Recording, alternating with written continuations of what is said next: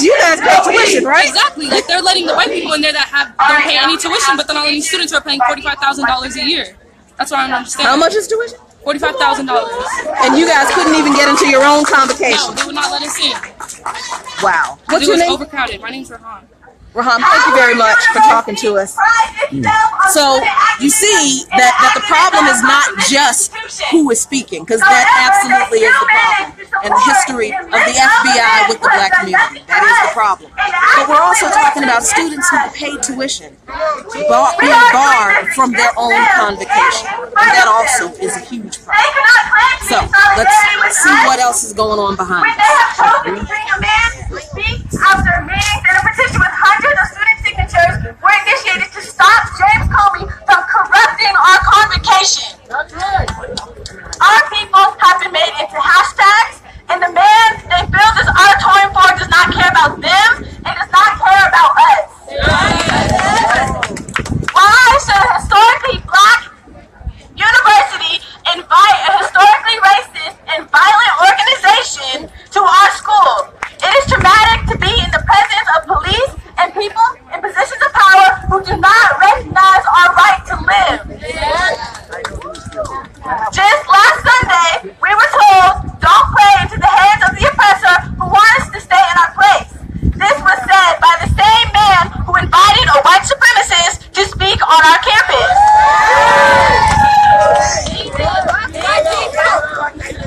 Wayne Frederick invited hate into our school. Wayne Frederick invited hate into our school, showing that he thinks anti-blackness has room at Howard University. We refuse to accept this. We are against James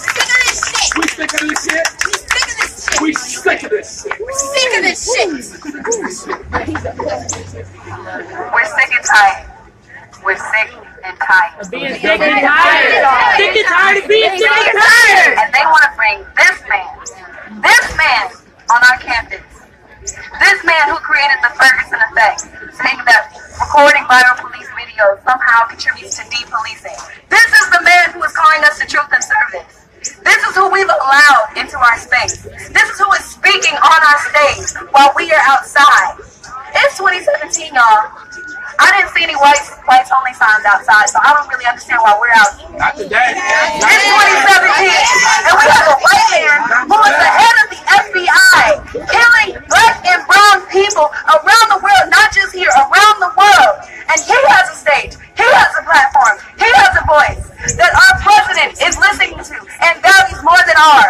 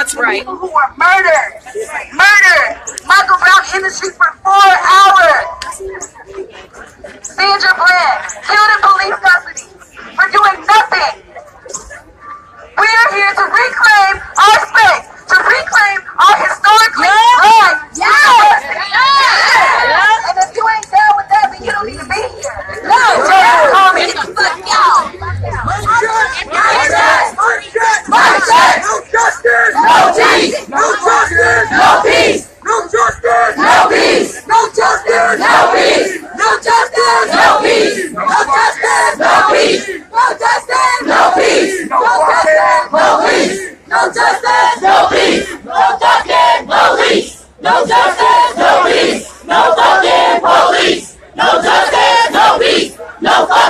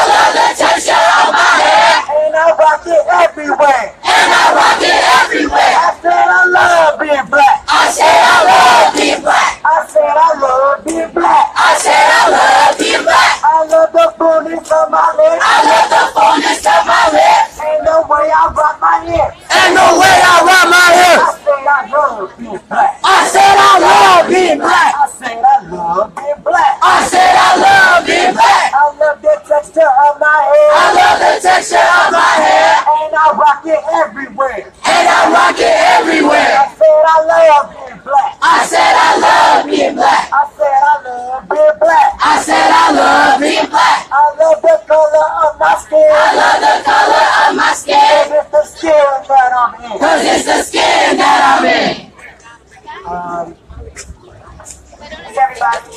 While we are here in the group, if, if, any student wants to speak or want to tweet, we have hashtag reclaim conversation you, Please tweet. Please put this out. People beyond the community need to know what is happening here. If how is going to be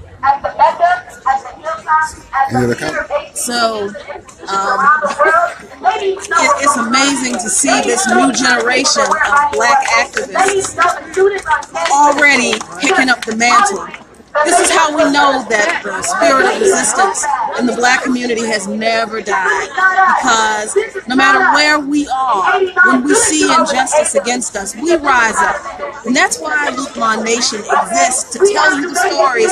Yeah, Howard University television is here. I think maybe NBC4 is here. But unless you live in the Washington, D.C. area, you have no idea that this happened. Those of you in Luqman Nation who are in other states, who are in other countries, you don't know the, the ideological struggle that's going on on the campuses of historically black colleges and universities like Howard University today, where our students are being indoctrinated by people who were the former top law enforcement officers who set the policy and the tone, who set the tone for how black people in black communities and black organizations were treated by law enforcement.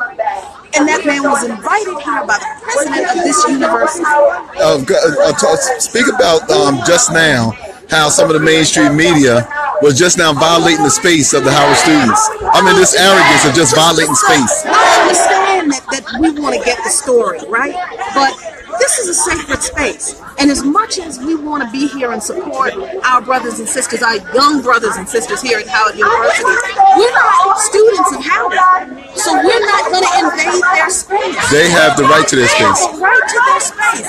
We're here to show you what they're doing on their campus, in their community, to protect their rights and, and, and their space that they're paying tuition for, by the way. But they can't even get into their own convocations. But you've got members of the mainstream media who are so pressed to get a story that they're invading the space of these students who are advocating for their rights. And Yeah, because that, because um, nothing is as, as good for ratings like angry black folks, right? Right, right.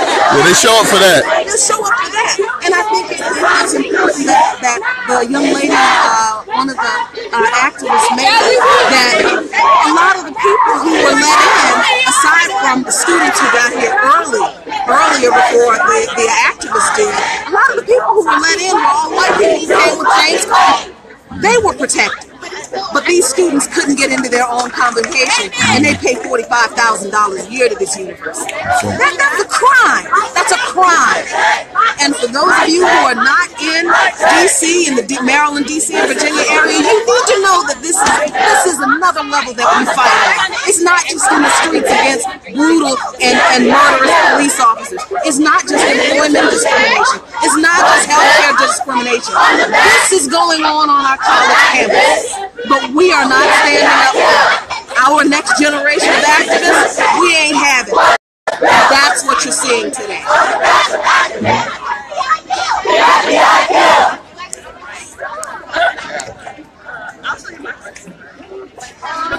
And as we were talking, this protest got bigger.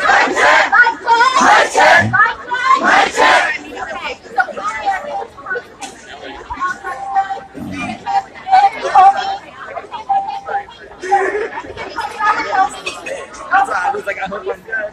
Everyone, everyone from school everyone from school is like,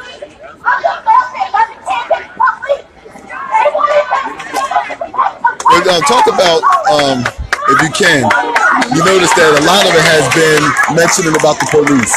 Yeah. Once again, so you're talking about Howard University. Uh, you're talking about, um, um, you know, kids who are really like the cream of the crop. Right. You know, doing everything that America tells them that they should do, and, and still you, you hear this narrative of of having problems with the police. Right. I mean, here it is. We're, we're told get a college education and then you can succeed in America. So these kids have done that. They've done that, and they're still mistreated by police on their own campus. Mm. You know, because even though most of the police on their own campus are also black, and it was interesting to see uh, campus police and metropolitan police blocking the doors, barring the doors of Crampton Auditorium to keep these black kids out of their own uh, uh, convocation, while they were protecting the white former director of the FBI for them. And, and they were protecting him from their free speech expression. Right. You know, this is their campus. They pay to maintain this campus. Their tuition pays the salary of the president and and, and the professors And the police. and, and the campus police. So it's that disconnect that our brothers and sisters in law enforcement have when when these kids are asking the question, who do you serve? Who do you protect? It's like they, they don't they, they don't think these are the people who pay my salary. I'm supposed to be serving and protecting them. Let me open the doors and let these kids go into their convocation and have their say. But instead, instead, they follow the orders of those in authority. And because black dissent is always perceived as dangerous. As dangerous and as a threat. You know, black You folks know? that's not the black folks that's just not accepting what's done to them is, is a problem. Right, right. Interesting. So, so turn turn around, hon, and look at the this. Uh, so we see looks like a.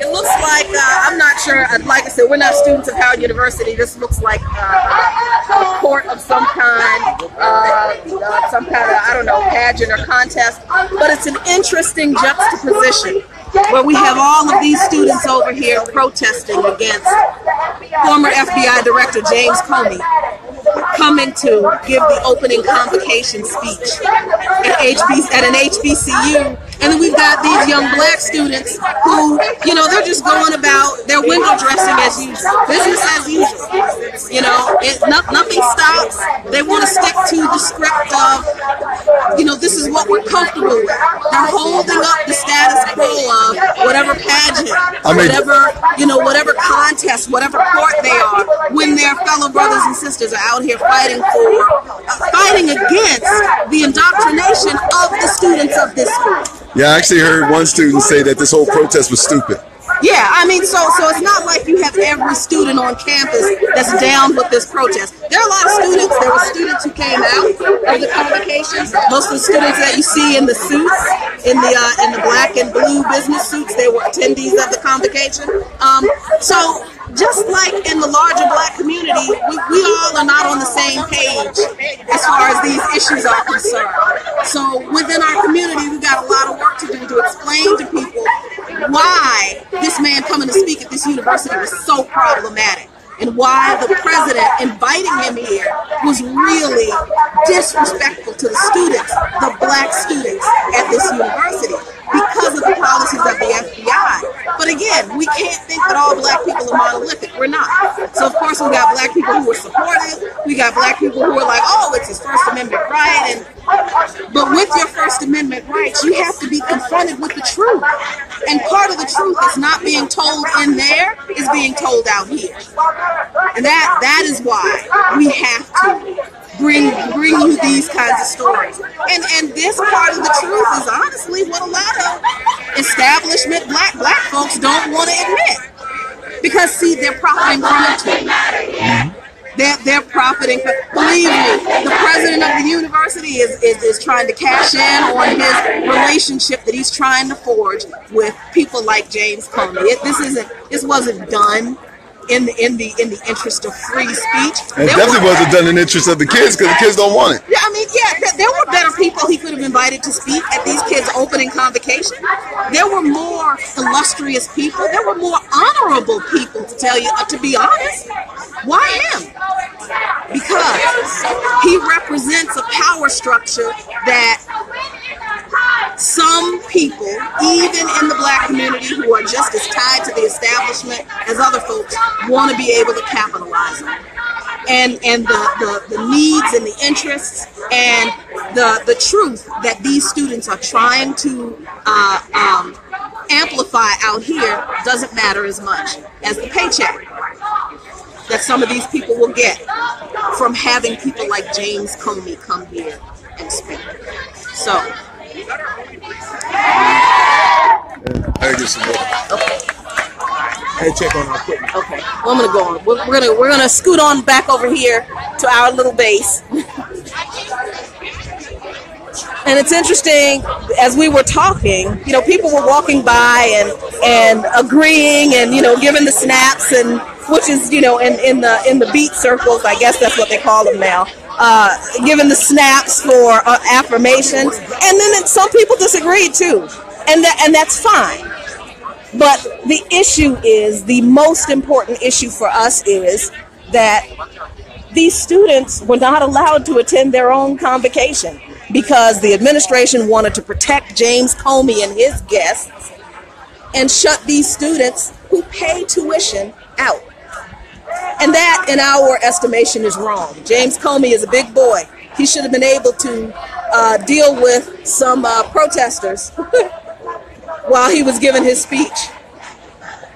But he's far too interested in indoctrinating another generation of, of young people to, to allow that kind of dissent in, in a space that was ceded to him that really belongs to these students out here.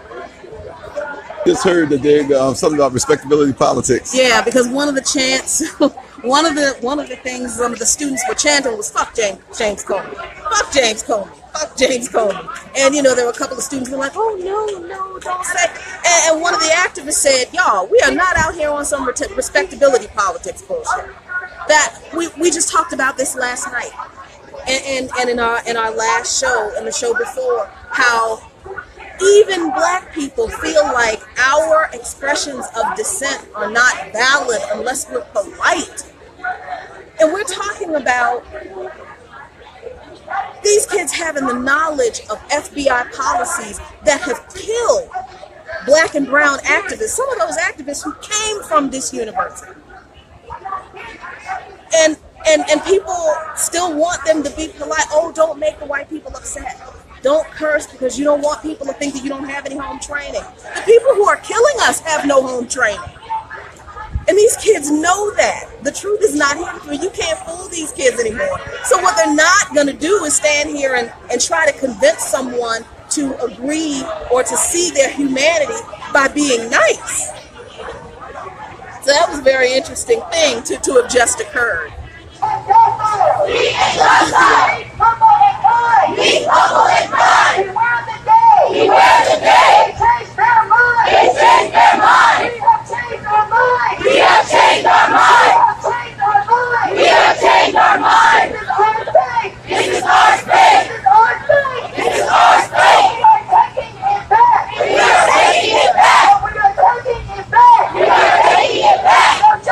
No peace. No justice. No peace. No justice. No peace. No justice. No peace. No justice. No peace. No justice. No peace. No justice. No peace. No justice. No peace.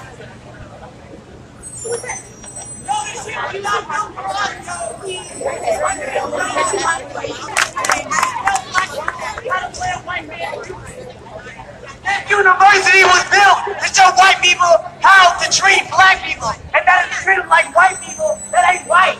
We speak in their language. We eat their food. We buy their clothes. And we are at their university right the fuck now. This is a white man's university that black people gotta step up and claim. Not reclaim, because it was never ours. We gotta claim this shit. We gotta claim it.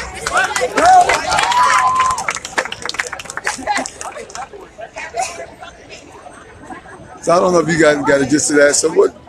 Whoever the young man was talking about. he was talking about uh, how Howard University was uh, built not just as a mecca for education for black people, but it was also part of that whole. Remember how we talked about uplift suasion and and and assimilationism? How how you know this was supposed to be a place where where black people learned how of white society right? This this was this was for for middle class black people at the turn of the century, where black people with means could send their students to learn how to fit into white society. But during the late 60s and, and early 70s, there was a different move as the end of the civil rights era came, and then the more quote unquote radical era of activism um, i- that, that came out of the cities, uh, emerged when a lot of those activists came through Howard University and other HBCUs as well as, as well as other mainstream universities. Some of the people who are icons in the Black Power movement were college educated black people with degrees like uh, uh, like Angela Davis and Huey Newton, um, and, and and Fred uh, uh, and, and yeah, and Huey Newton. Uh, it looks like there's a march somewhere. I don't know. marching.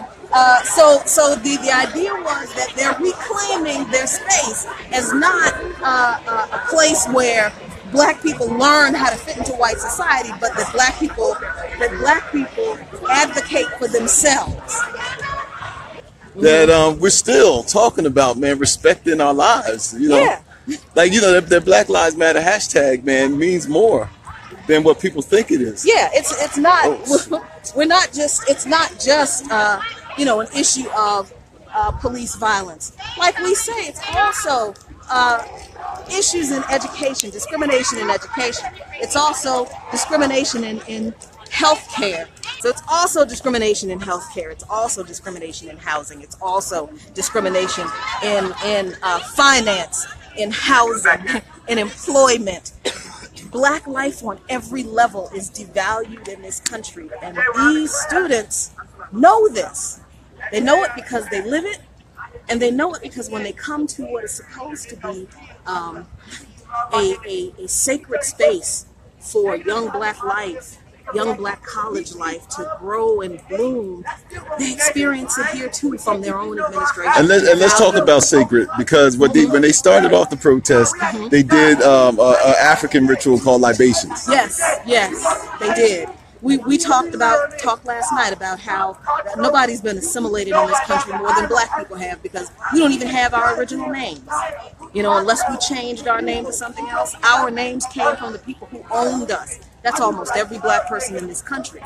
So our traditions, we had to learn our traditions from research that we weren't allowed to keep them. So it's heartening that these young students uh, start their activism, their active activism, with with a, a, a ceremony that marks a space as sacred, that comes from a culture that was forcibly stripped from us, beaten out of us, uh, indoctrinated out of us, and and nobody's been more assimilated than us. But these students are standing up not just against James Comey, but they're standing up against the centuries of assimilation that we've been forced to accept as the norm to be accepted in American society. And I, I want to show something. If you want to talk about black spaces, what is common um, with black spaces? Uh, police occupation. There you go. Police surveillance.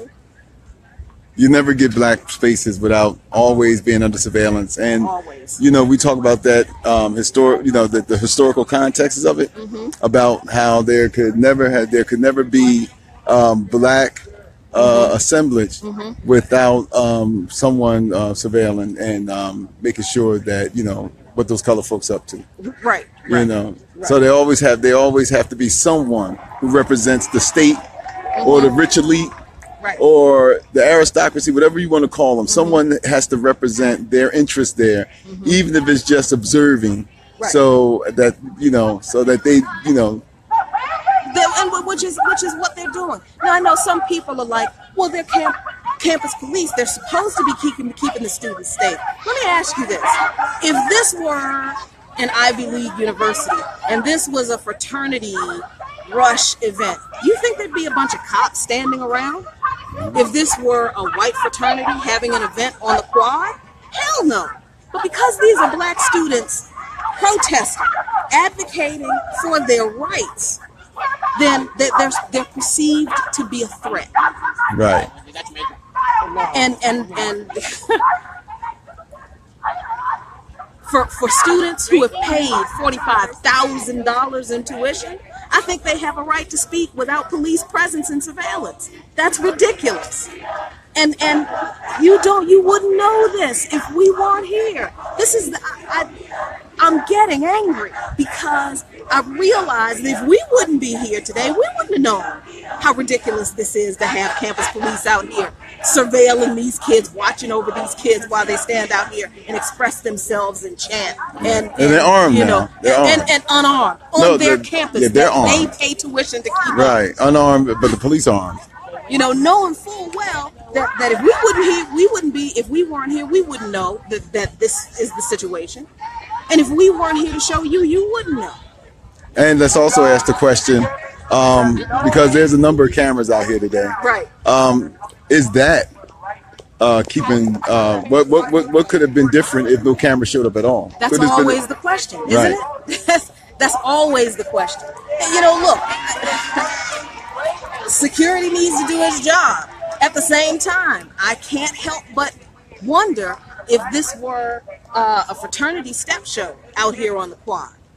If if there would be these cops out here watching the step show. No, they wouldn't. But as long as black people are doing things that are seen as acceptable by the establishment, as long as we're, you know, walking down the sidewalk in our in our uh, pageant um, uh, uh, uh, formation with our sashes and ribbons on. And, and playing the role of the compliant, you know, black student. then, the- yeah, the minstrel show. We're not a threat. Yeah, the minstrel We're not show. a threat. But as soon as we start exhibiting independent thought that is out not only outside of the establishment, but that's in direct opposition that to that the white that, that white people didn't approve? that wasn't approved by white people, right. then we need surveillance by the cops. You know, and, I, and I'm not trying to demonize these guys. They're, they're doing their jobs. But I do appreciate that mostly they are just so uninterested. Yeah, to be honest with you, they've they've been nothing but respectful. Yeah, they they just been like I, I I can I can see the looks on some of their faces. Some of them are like, why are we even out here? Right. see, they're out here because they were told to be out here by the administration. Exactly. And for once, I really wish that black people in law enforcement would stop listening to the people who order them around against their own people. For once, I just really wish black people in uniform would say, you know what? We have no need to be out there with those kids. Leave them alone. If, if we must watch them, can we do it from a block away? Yeah, Pre- preferably in air conditioning. let's let's go down here and see what's going on. Yeah. Yeah, I think that they're starting to march somewhere else.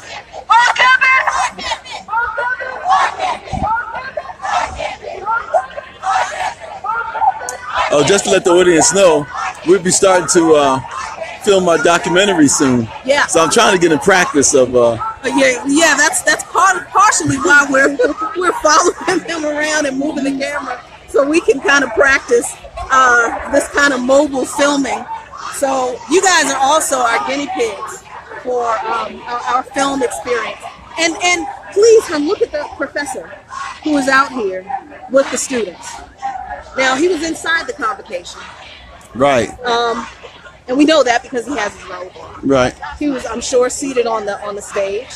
And in a show of solidarity with these students he came out there and marched with them. That's the kind of thing that we expect to see from the people who who these kids uh, tuition pays their salaries for. Right. but but it can't stop at that because that's kind of symbolic right you, you you sit there on the stage in in in agreement with that man coming here to speak, and then you come out and you march with the students. But did you speak out when you found out he was being invited? Right, right, right, right. Well, we don't know. We, we don't know. But but we have to acknowledge those people who come out and do show solidarity with us when we are out in actions like this. We must acknowledge those people. Realize people don't know what the Mecca means. So the Mecca is short. Uh, it's what Howard University campus has been called for dec- centuries, probably, as the Mecca for Black excellence.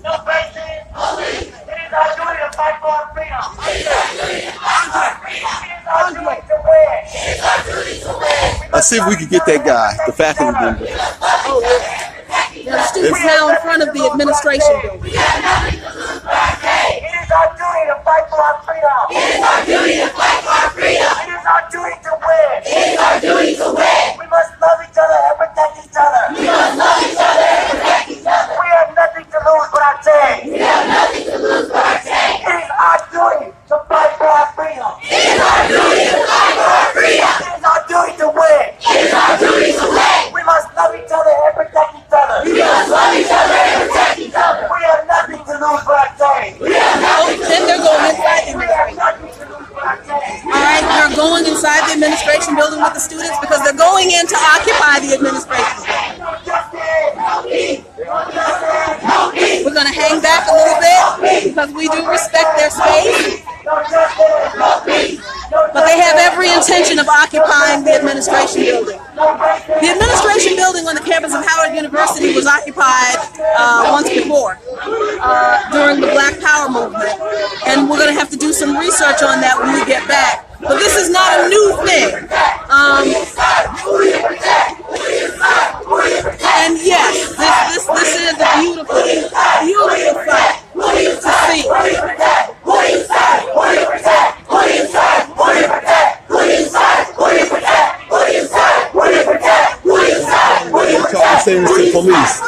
Okay, so the, the police are inside the building. All right, we think something's going on here. And it Let's looks save like the they might be trying to arrest or detain, I shouldn't say that, but they may be trying to detain some of the students. Again, the students pay the tuition to maintain these buildings. And it looks like a couple of the students are, are being detained in the building. In buildings, they pay tuition to maintain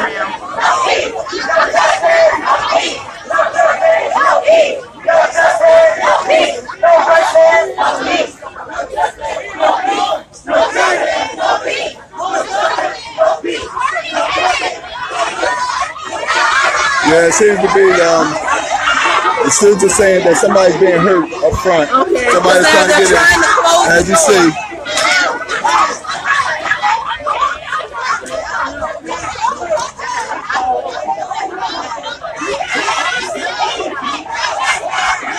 So uh, we're, yeah, we're going to we're going to take a, a, a, a safe distance. So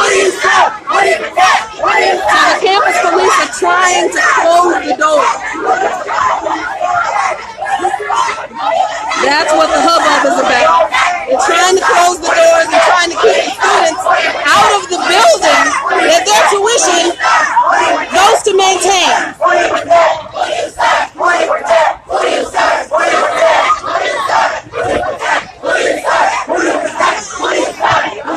All right, seems to be a lot of lot of stuff up here. I you know, I don't want to be like a Don Lemon, but but there's definitely um, there's definitely uh, some kind of um, tussle with the police up Yeah. front.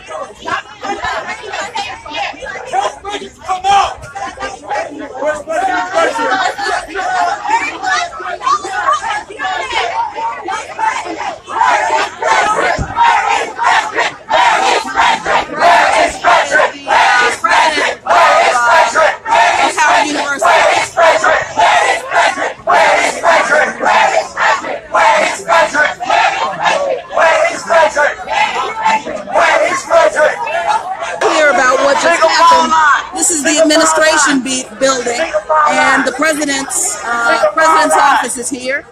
And again, these students pay tuition. They paid tuition. That's why they're here. They wouldn't be on campus if they hadn't paid tuition already. And they demand an audience with the president of the university, and they deserve that. But campus security uh, barred the doors and tried to uh, remove them from a building their tuition pays to maintain. So now, see, this is what we do. Is what we always do. We know we have a right to be in this building. Right. So what do they do? They get in a single file line so they can be granted access to an audience with their president. This is what they were told by This the is- administration. This is what they were told by campus police to do, so this is what they did.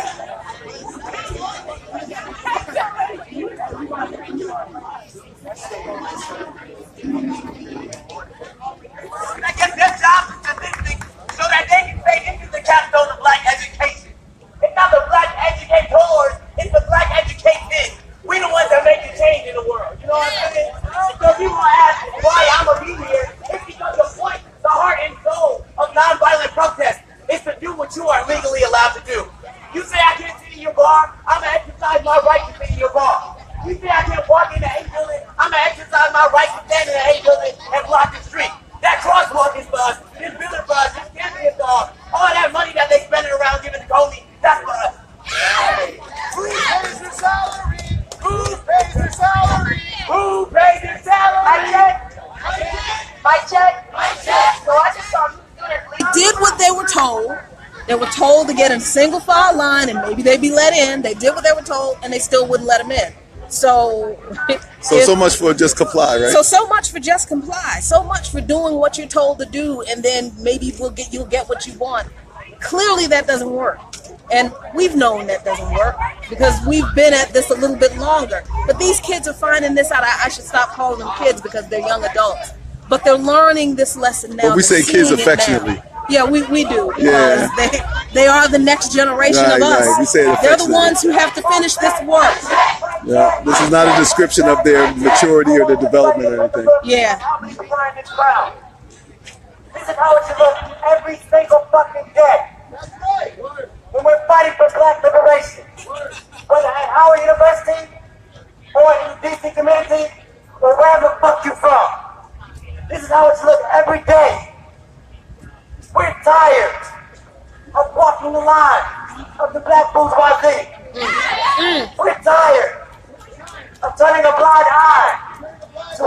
Brothers and sisters and our family who die in the streets every day. This is not a game. I have family who have died to white supremacy. I have family who have died to white supremacy. You have family. We all have family that have died to white supremacy. It's not a game. I love being black. I said I love being black. I said I love being black. I love the color of my skin. I love the color of my skin. This is the skin that I'm in. This is the skin that I'm in. I said I love being black. I said I love being black. I said I love being black. I said I love being black. I love the texture of my hair. I love the texture of my hair. And I rock it everywhere. And I rock it everywhere. I said I love being black. I said I love being black. I said I love being black. I said I love being black. I love the fullness of my hips. I love the fullness of my hips. And the way I rock my hips. And the way I rock my hips. I said I love being black. I said I love being black. I said I love being black. I said I love being black. I love the texture of my hair. I love the texture of my hair. And I rock it everywhere. And I rock it everywhere. We are here. We are here to reclaim our time. To reclaim our time. We are. We are here to reclaim our space. To reclaim our space. Howard University. Howard University is for us. It's for us. Howard University. Howard University belongs to the students. Belongs to the students. We are the students. We are the students. We make this school. We make this school. They don't make this school. They don't make this school. They are supposed to be serving us. They are supposed to be serving us. But they are big and they protect us. They are big and they protect us.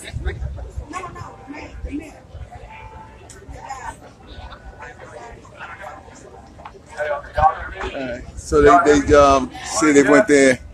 One of, one of the white shirts uh, opened up the road. When we chant about how we all love to be black. Say that. Say that.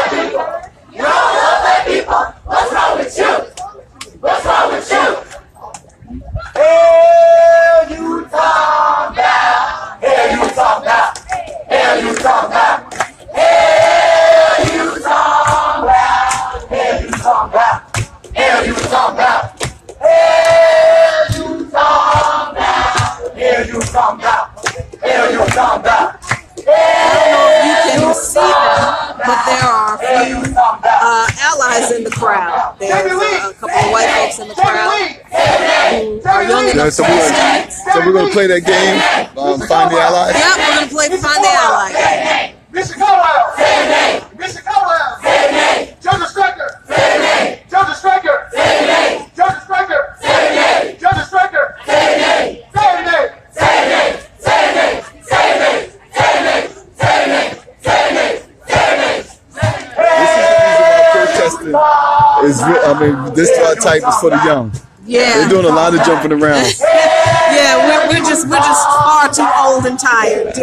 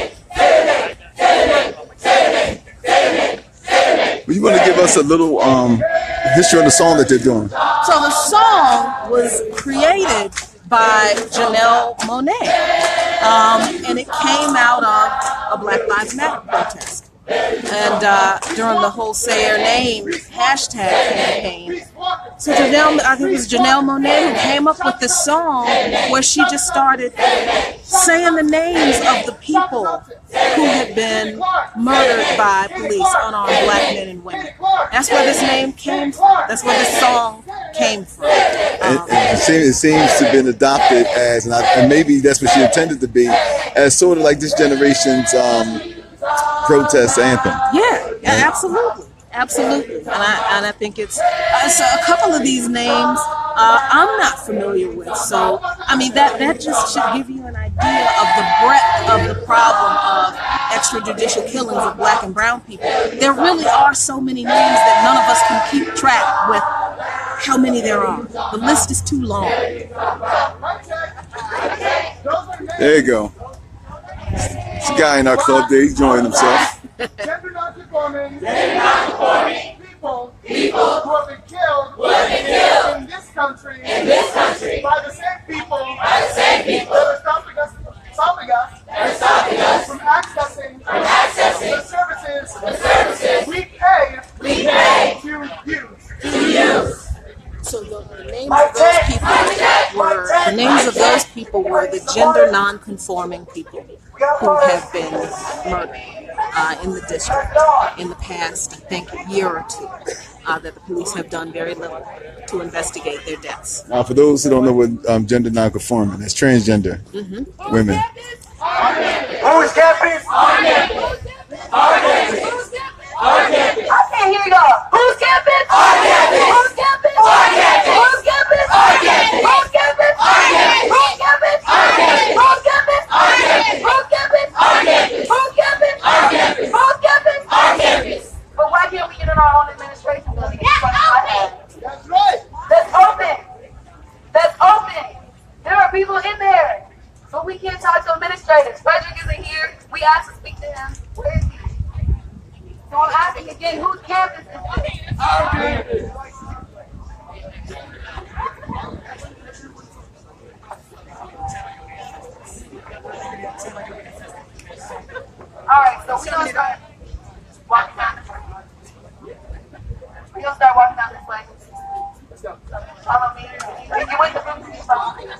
apparently they're not letting them in.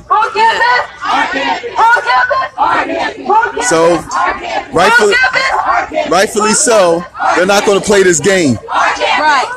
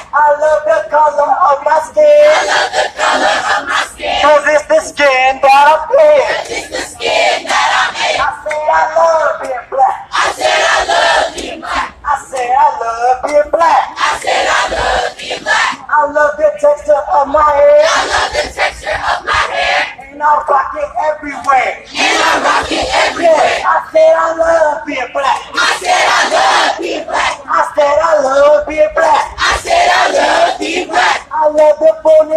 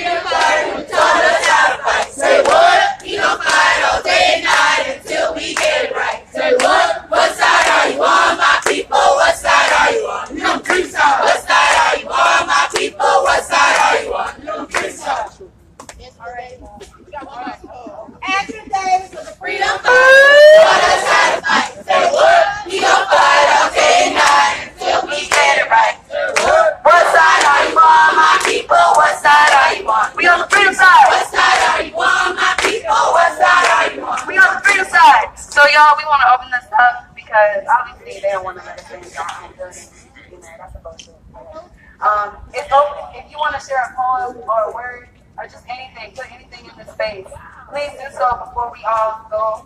But this is not it. This is not it. I repeat, this is not it. Can we all say that? This is not it. This is not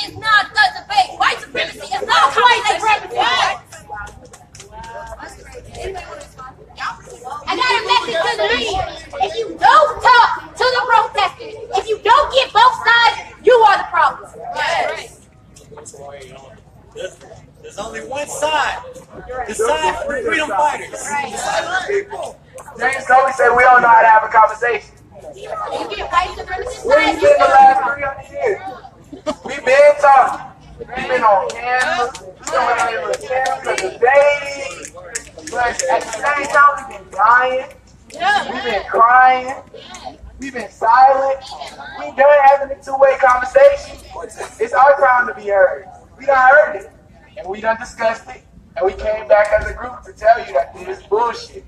So it's our turn to come up with a solution. Your solution and your conversation, whatever it comes for, don't work for us, James Comey. That's why we don't want you here. So don't fucking come back. Because we don't know how to have conversations with white supremacists. We're not going to learn either. So if you come back, the same shit going to happen every single time.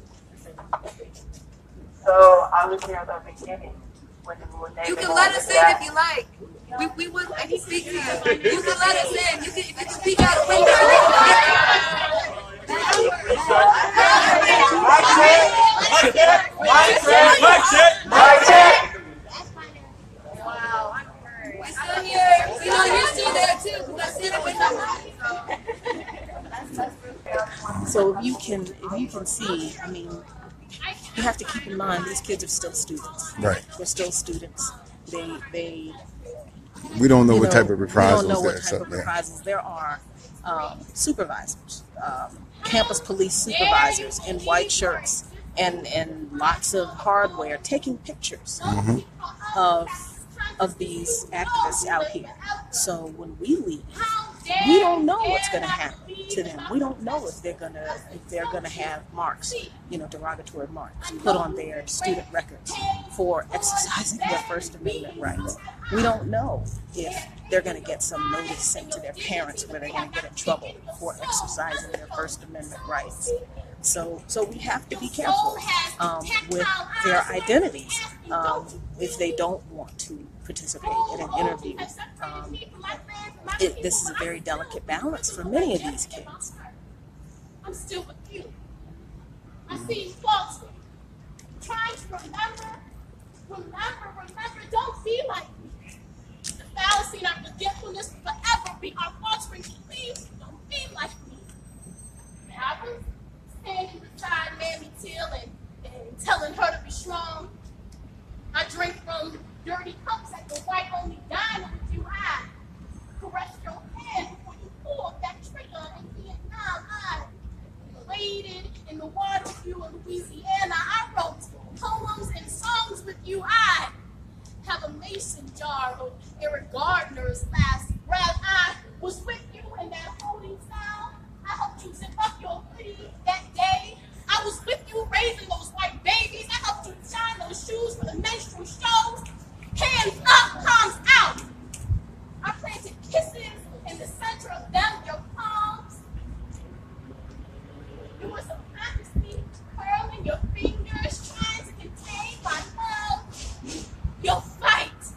is fueled by my love.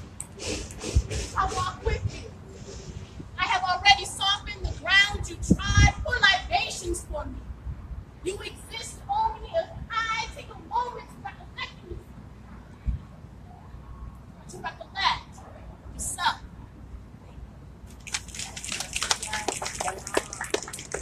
Okay, so I think um, from what it just that I gathered is that they're not going to let them in. So now they're wrapping this up, and um, they're saying that they're going to make another attempt to um, to come see the administration.